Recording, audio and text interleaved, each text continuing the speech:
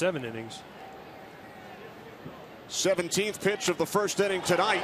And Bruce sends this one to deep right field. No doubt about it. Jay Bruce takes Gerrit Cole deep. His 12th home run of the season.